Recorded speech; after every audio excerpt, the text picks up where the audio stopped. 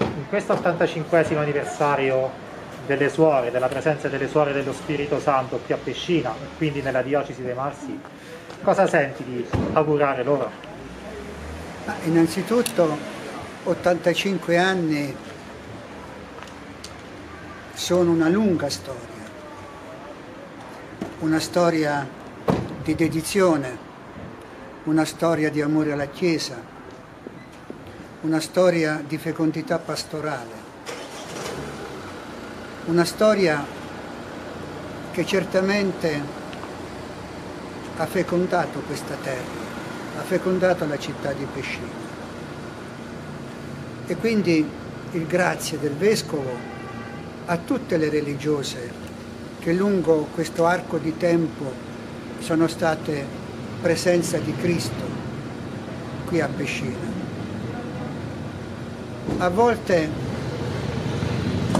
si giudicano le suore unicamente per quello che fanno. Invece le suore vanno viste soprattutto dentro la loro profonda identità. La suora è una persona che ha dedicato tutta la sua vita a Dio, che vive una storia di amore assoluta con Dio. Ecco quindi che la presenza stessa delle suore, al di fuori della loro attività, costituisce per tutti una profezia, un annuncio, che Dio è tutto e che se Dio non è un grande amore non è nulla. Ogni suora è una storia d'amore con Dio, è una storia di amore dentro la Chiesa per i fratelli e per le sorelle che incontrano.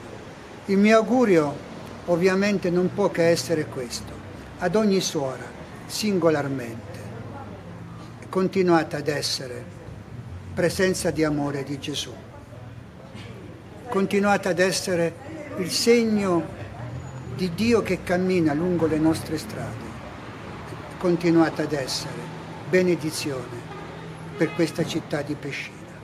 Auguri.